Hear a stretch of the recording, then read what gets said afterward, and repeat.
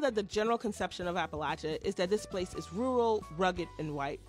And so we want to tell the stories of the black folks in Appalachia. A local sociologist and journalist teaming up for a unique podcast that sheds light on what it means to be black in Appalachia.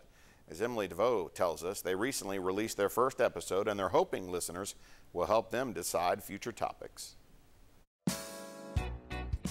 What's up, y'all? This is Dr. Enkeshi El-Amin, sociologist of race and place and black Appalachian experiences. And I'm Angela Dennis, editor and journalist that specializes in race and socioeconomic issues. In a 30 minute episode, Enkeshi El-Amin, Angela Dennis, and their director, William Isom, cover a lot of ground. I hope they come away with like a sense of joy, but also a sense of like they learned something. The Black in Appalachia podcast came out August 8th. Do you know what today is? And if the date doesn't ring a bell, it's our Emancipation Day. It is Emancipation Day in East Tennessee. It's the topic of that first episode. When we thought about launching the podcast, um, you know, we thought about what would be a significant time in this region, like what would be a significant um, time that that we could kind of galvanize excitement around around the work and around um, the podcast and, and and the region in general. And and we thought that Emancipation Day was a, a great opportunity. Future episodes include topics like Corbin, Kentucky, coal mining, the Black Lives Matter movement, and Nazi hunters. Nazi yeah. hunters. oh gosh.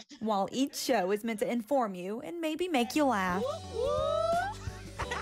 They have a specific audience in mind when they walk into the audio booth. You know, college age is a time where a lot of Black folks leave this region, um, and so we're we're we're thinking about people like Micaiah who is college age, and we want them to stay. We want them to feel proud of their Appalachian roots, but also feel empowered to work to make this region what they want it to be. The podcast is part of a larger Black in Appalachia initiative that started in 2012 at East Tennessee PBS. We saw this greater need for the the documenting and flushing out the narratives, the black narratives in the region, mm-hmm. uh, because there there was a lack and a lack of availability. There's not a lack of narratives; they're all there. They've just not been considered in the broader scope of the region. And a podcast is just the latest way they plan to share them.